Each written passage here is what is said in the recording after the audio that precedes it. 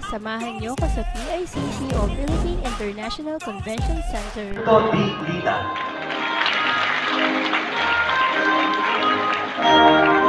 Paayos mo na lang yun. Mamaya.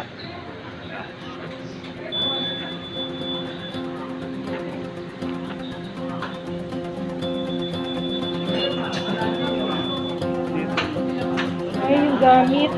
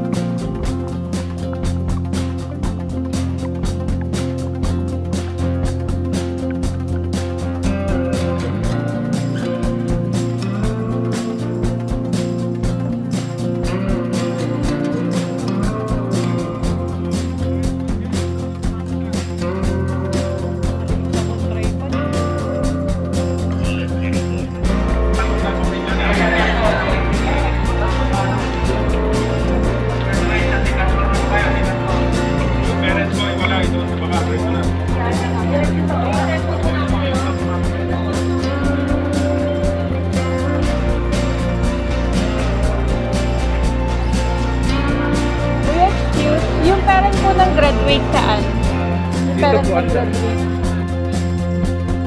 Ah, dapat dun. Mas umiwalay eh. Separate yung gagraduate dito ang dahan tapos yung parents ko sa kanila.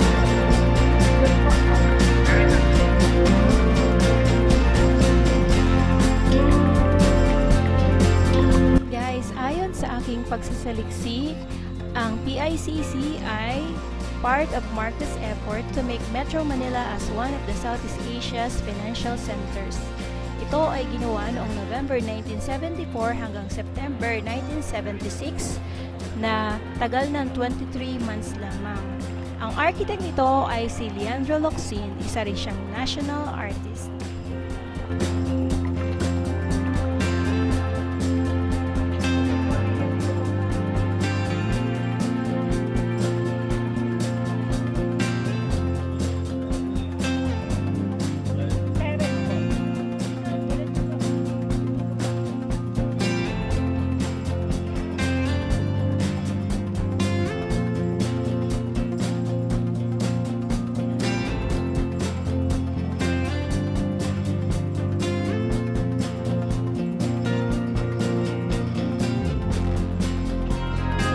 Now, ladies and gentlemen, we would like to request everybody please stand for the singing of the Philippine National Anthem.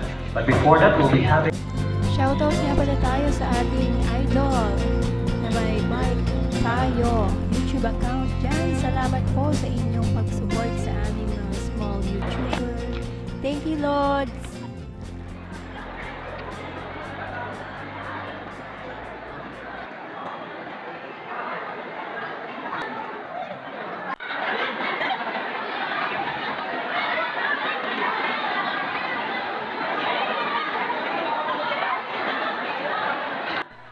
Guys, sa dalawang taon na kanilang hindi naman pagkakasama-sama at nakakatuwang sa gantong pagkakataon sila ay pinagbigyan. Tingnan niyo naman guys, hindi matatawaran ang saya sa kanilang mga mukha.